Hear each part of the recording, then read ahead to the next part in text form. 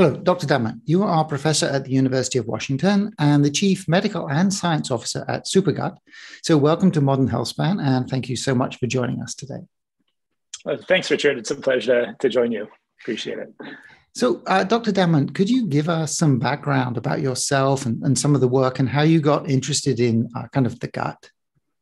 Yeah, absolutely. So, um, uh, professionally, I'm a gastroenterologist, and um, I I wear many hats, clinical and, and research, and uh, in the uh, academic arena, but also in the private sector. And um, I am inspired by the possibility of food as medicine, um, simply put. And that all started back in medical school when I turned on to this idea of these microbes uh, in our gut that may be helping us, not the pathogens uh, that we conventionally think of microbes as being, but the commensals, the ones that are um, maybe making factors that are good for us. And that's been a thread that I've followed throughout uh, my whole career uh, through uh, to the Gates Foundation, uh, and then ultimately uh, on up to uh, Supergut. And um, I think there's a lot of untapped potential there. Actually, Hippocrates back in antiquity said, "Let food be thy medicine, medicine be thy food," and the gut is the the root of disease.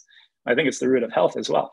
so um, yeah, I think there's a lot of therapeutic uh, potential uh, and preventive potential uh, that we can tap into. What I hear is that there's not much uh, food, uh, nutrition in like medical school. Uh, would that be true? I, I, can probably count the number of days that I had lectures in nutrition on maybe my 10 fingers. Um, out, of, out of the entirety of medical school. It's, it's really phenomenal. Um, and uh, one would think that within uh, gastroenterology in particular, uh, there would be a lot more training uh, mm-hmm. on, on food, uh, but it's, it's still really limited. Um, I think, I think medicine uh, is coming around to the idea and, and, starting to embrace. And I think it's actually perhaps the microbiome as a lens, because we have tools now to actually understand and characterize it, that is opening our eyes to this possibility through a whole new light. So, could we have a little introduction as to what is resistant starch and what makes it so special? Sure, sure, absolutely.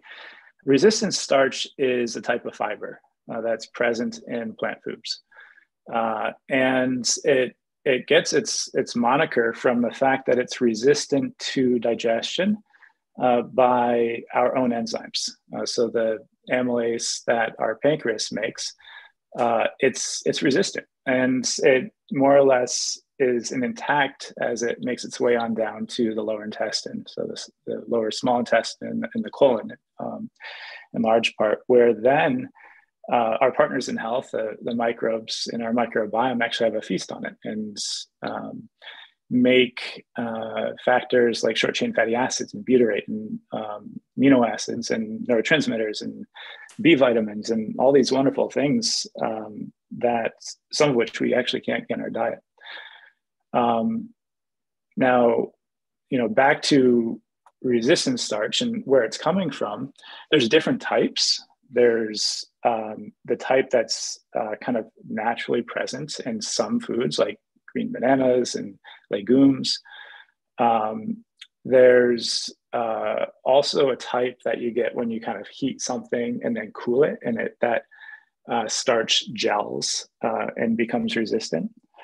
Um, and there's there's other types uh, yet, but all these types um, are just not that prevalent in our modern diets for for many reasons.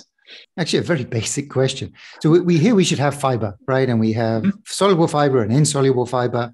So where does resistant starch fit within that kind of area? Yeah. So um, it's it's an interesting uh, paradigm and way of characterizing fiber, and it it it um, may not be getting at what's most important about fiber. And so the direct answer to your question is resistant starch straddles the space between the two. It's both. Hmm. Um, but um, what's perhaps more relevant to health than whether something is soluble or insoluble is whether it serves as a prebiotic to the microbes in our gut. Um, certainly, that's not everything about fiber, but that's a really important role that fiber is playing in our diet. And um, it turns out that both soluble and insoluble fibers can be prebiotics. Uh, so, um, short answer is it's both, and the, the long answer is it gets complicated. okay, could we could we dive into a little bit more detail on the fermentation of? So, fermentation is uh, breakdown with without oxygen, correct? That that's what it means, right? And then I will go into that a little bit. And then the uh, outcome of what are the some of the, the good things that resistant starch creates or fiber creates in general uh, with the with the microbes. Yes, uh, so your definition is is correct. Uh, that's anaerobic uh, fermentation. There's there different types of fermentation, but uh, that is primarily what's happening uh, especially in the lower gut. In the upper gut, there might be some microaerophilic organisms that um, are, are, using some um, oxygen. Um, and in terms of what uh, fiber at large, resistant starch in particular, uh, are being turned into, um, I kind of rattled off uh, some of the things really quickly at the beginning, and, and that's all true. Um, so amino acids, the building blocks of proteins, um, and neurotransmitter precursors, um, B vitamins, and um, um, short chain fatty acids like butyrate are some of the key factors uh, or metabolites that are being made uh, by the microbiome. And in fact, one could think about uh, the colon and the microbes, they're almost like a mini factory in our gut um, that in some ways provide us with nutrients, maybe even during times of stress when we might not, um, say, evolutionarily or historically have had access to um, higher uh, nutritional quality foods, say like animal source foods. Um, it, it's it's very uh, likely, and the data suggests that these microbes are making uh, some of those things for us, like amino acids, which I find just fascinating. Uh, but the, the one molecule I'm uh, most fascinated by is butyrate. And uh, is a short chain fatty acid. And there are uh, a number of very recent studies coming out linking butyrate, um, just as the microbiome has been linked. So this isn't causative, this is correlative, uh, to a number of conditions. Um, so things like um, neurocognitive disorders like sleep disorders, um, or autoimmune disorders and metabolic disorders. And it may very well be that um, butyrate among the other short chain fatty acids are kind of the key, one of the key mediators of how the microbiome is impacting our health at large. Um, and there's a lot more to unpack there, uh, but uh, maybe I'll, I'll pause for a minute and see. Uh, yeah, I, I mean, I would be interested in, in, getting into a bit more detail on butyrate, and particularly, I mean, is there any other way uh, that we can get butyrate, or is is it only through the fermentation of fiber? Yeah, uh, it's an excellent question, and uh, butyrate is present in small amounts uh, in our diet, uh, and and doesn't come just from the colonic bioreactor in our microbiome, but those amounts are quite small.